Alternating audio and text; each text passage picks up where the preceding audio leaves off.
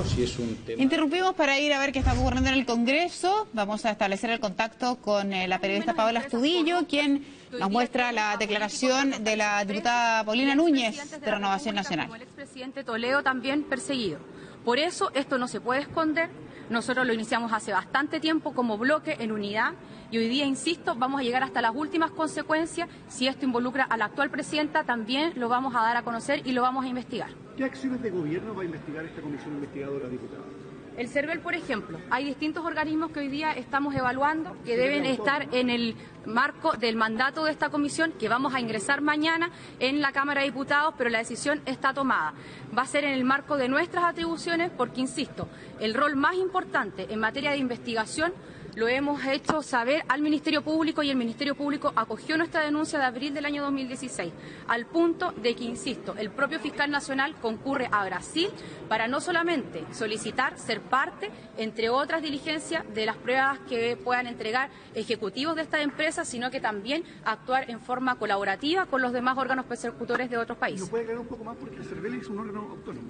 Yo no me voy a detener hoy día en algunas autoridades. Le he dado un ejemplo dado a su pregunta, pero mañana le vamos a compartir el texto de la comisión investigadora porque hoy día estamos eh, anunciando la decisión tomada y mañana tendremos el texto con todos los organismos para que, como siempre, sea conocido por todos los Diputada, chilenos. y por ustedes. estamos en directo para Radio Bio Bio. Eh, usted no quiere hablar de alguna autoridad. Yo tengo la obligación de preguntarle respecto de las declaraciones del diputado José Antonio Cast, que es eh, un diputado ex militante de la UDI, que ha puesto en cuestión las declaraciones del expresidente y ha dicho que cuesta creerle al expresidente Piñera a propósito de la situación de Exalmar y también de la minera Dominga. ¿Cómo responden ustedes a estas declaraciones?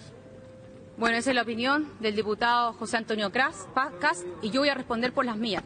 Yo no solamente le creo al expresidente Sebastián Piñera, sino que hoy día estoy convencida que este es un libreto orquestado desde la izquierda de nuestro país, de diputados como el diputado Gutiérrez, que tiene más querellas presentadas que proyectos de ley, y que por supuesto hoy día van a salir ellos en conjunto porque tienen un temor de perder el gobierno, tienen un temor de perder puestos de trabajo, y nosotros no vamos a permitir que nuestro país sea perjudicado con cuatro años más de gobierno, porque hemos visto, y todos los chilenos y muchos de ellos que confiaron en la presidenta Bachelet en su minuto hoy día están arrepentidos de haberle dado el voto. Pero este correo electrónico, diputados o diputados que quieran responder, este correo electrónico donde eh, se copia, no se copia, sino que se le envía directo a Sebastián Piñera Morel, donde se da cuenta respecto a las gestiones de la compra de Exalmar, ¿le parece que es una cosa menor, que no tiene importancia, que no tiene relevancia?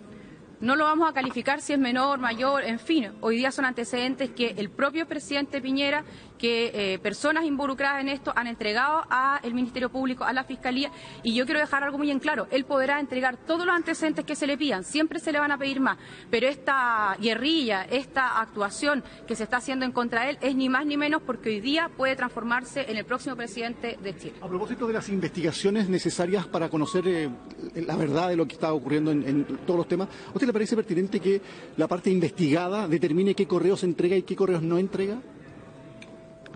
Diputada. Cuando uno le piden entregar todo sin tener ni siquiera claridad de lo que se está pidiendo, me parece que en definitiva es una tontera y no una actuación con seriedad. Perdón, ¿la Creo- actuación del fiscal es una tontera, diputada? Porque el fiscal le pidió los correos. Yo creo que hoy día hay que dejar en claro que no se puede estar aprovechando y menos actuando en forma destemplada de solicitando información sin tener claridad de qué es lo que se está pidiendo. Si uno dijera, estamos pidiendo determinados antecedentes en tales fechas o en el marco de tal investigación, por supuesto que uno podría acceder con mayor facilidad. Pero insisto, yo creo que eso es importante que, quede claro que más allá de lo que pueda hacer el Ministerio Público, siempre ha estado a la disposición del expresidente y de su entorno para entregar y colaborar con toda la información que sea necesaria para que esto se esclarezca. Escuchamos parte de las declaraciones de la diputada Paulina.